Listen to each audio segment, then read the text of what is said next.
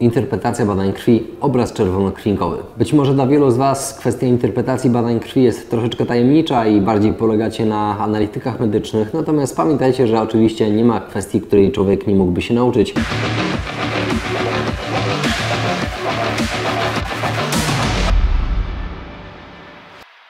Mamy oczywiście liczne książki na rynku, które mogłyby to obrazować i chociażby książka Lotara Ursinusa o nazwie Co mówi Twoja krew jest jednym z tych elementów.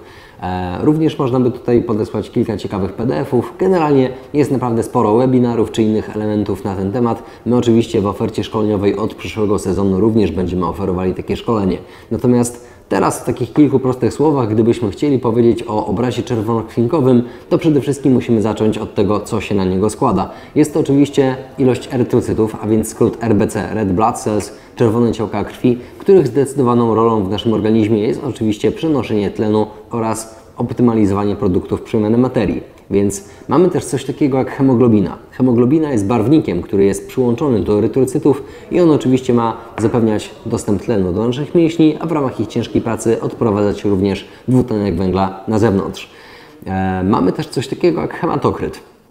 Hematokryt jest tak naprawdę wymiernikiem gęstości naszej krwi i biorąc pod uwagę, że raczej wiele elementów, które w niej występuje, liczymy w przeliczniku około kilku tysięcy, jak na przykład białe ciałka krwi, zazwyczaj około od 4 do 10 tysięcy. Mamy też kilkasetek tysięcy, jeżeli chodzi o płytki krwi, zazwyczaj od 200 do 400 tysięcy one powinny mieć e, w swojej liczebności, ale mamy oczywiście też czerwone ciałka krwi, a więc te erytrocyty RBC, których mamy kilka milionów. Więc w momencie, gdy mamy około 5, być może 5 z hakiem milionów, to faktycznie one będą warunkowały nam główny aspekt dotyczący gęstości krwi. Ale Pamiętajcie, że te kilka milionów czerwonych ciałek to jest jedno, z drugiej strony pytanie, ile my mamy osocza. Przypominam, że zawartość wody w naszej krwi to jest około 95-6%. Stąd też oczywiście z jednej strony hematokryt może nam wzmacniać się w prawą stronę widełek, w zależności od tego, jak mocno mamy popędzone procesy krwiotwórcze, a one również bardzo często oprócz tego, że wzrastają w ramach odpowiedniej metylacji, czyli odpowiedniej liczby kwasu foliowego, optymalnej ilości witamin grupy B, czyli B kompleksy są suplementowane, to oczywiście jeszcze sama kwestia żelaza.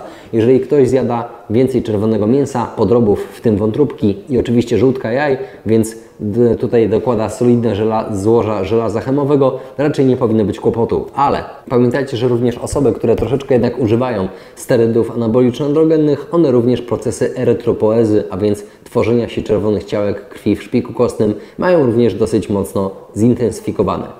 E, coś, co moglibyśmy jeszcze doliczyć do tego hematokrytu, to to, że raczej on powinien być w wartościach średnich, około 46-47%. Jeżeli jest przesunięty w lewo, może, może to wskazywać na to, że tak naprawdę jedną nogą siedzimy w anemii. Z drugiej strony, przesunięcie tego obrazu na maksa w prawo będzie nam warunkowało to, że krew jest niestety zbyt gęsta. I dla kulturysty, który chciałby sobie robić nawet rozgrzewkę, wziąć jakieś hantelki, porobić sobie zgięcia przedramion na bicka z supinacją, to oczywiście już po pierwszej i po drugiej serii będzie odczuwał pompę mięśniową i będzie zadowolony.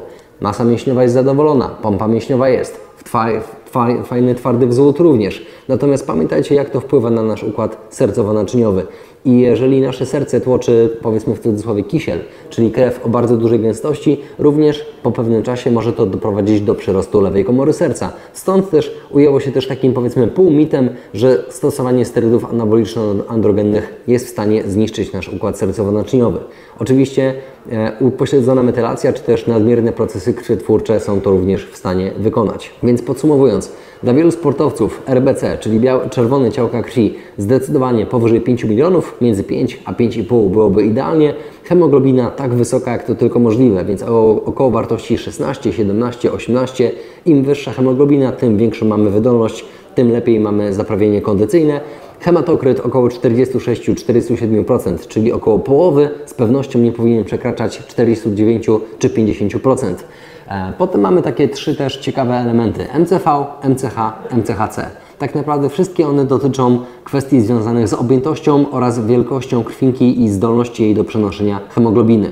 Też, tak jak w przypadku klimatów dotyczących hematokrytu, tutaj ani nie powinniśmy iść w lewą stronę, bo to jest źle, ale w prawą również nie do końca dobrze. Typy takich swoistych anemii mamy dwa.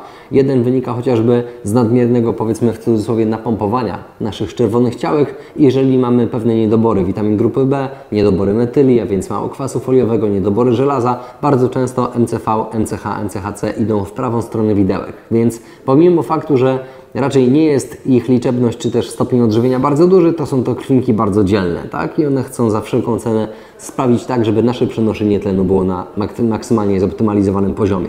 Z drugiej strony, jeżeli mamy osobę, która manifestuje tak zwaną enteropatię kosmków filitowych, ma zespół złego wchłaniania i liczne niedobory, tak naprawdę MCH, MCHC i MCV idą w lewą stronę widełek, a więc takie osoby są silnie niedożywione i one raczej prędzej mogłyby być nazwane przez nas anemikami.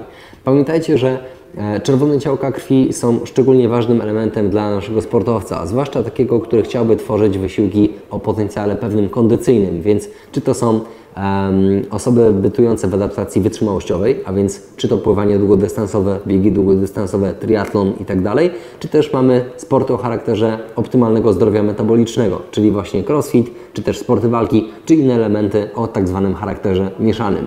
Więc pamiętajcie, Mamy tutaj liczne elementy, które są w stanie wpłynąć na optymalny poziom naszych e, obrazów czerwonokrwinkowych, ale bardzo często zaliczymy do tego właśnie optymalną ilość B kompleksów, aktywne foliany, czyli donory grup metylowych, no i oczywiście samo żelazo chemowe, które tak naprawdę w tym momencie byłoby czynnikiem długofalowym. Bardzo często również trzeba usprawnić wchłanianie, a więc chociażby, żeby więcej żelaza i witaminy B12 przyswajać, optymalne dokwaszenie żołądka, czyli albo stosujemy betainę, albo nawet pewne ilości witaminy C, czy też soku z cytryny, czy też nawet ocet jabłkowy.